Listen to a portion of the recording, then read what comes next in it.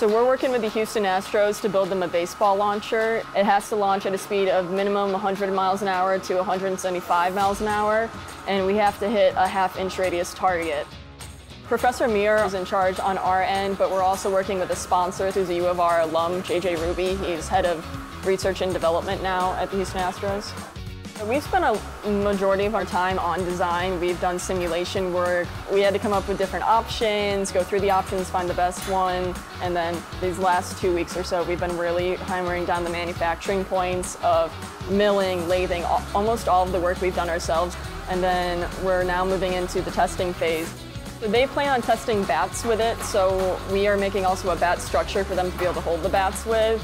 They overall want to see an energy transfer between the bat and the ball to see the inertial properties of bats.